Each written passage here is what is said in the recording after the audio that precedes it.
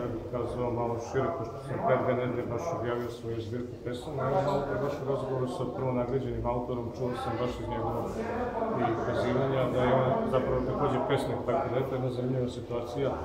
Dvojica pesnika su dobili prve dve nagrade. Tako da što, što se tiče same priče, ja sam tu priču, eto jedan zanimljiv kontekst što se tiče okolnosti samog pisanja. Prošle godine sam pisao tu priču, baš u vreme ovog zaključavanja i situacije sa koronom, Tako da je nekako se nametnula i ta tema, vidimo sinoć je bila ovde promocija jedne knjige, zbirke priča koje su inspirisane Pekićevim delom, tako da i ta tema nekako presnila, ne samo žanrovski pristup, se nekako kontekstovno poklopila sa ovom situacijom.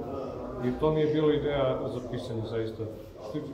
Ja sam upotrebio jedan više parodijski književni postupak, mada parodija ne znači nužno nikakvo ismevanje, to je više rekao bih jedan analitički osvrt na situaciju koja nam se zadesila, ali sedim po malo onako vedrijim i šaljivim pristupom. Tako da poslao sam tu još neke priče, ali ova se izdvojila, verovatno zbog te tematske aktualnosti situacije, tako da mi je drago zbog toga.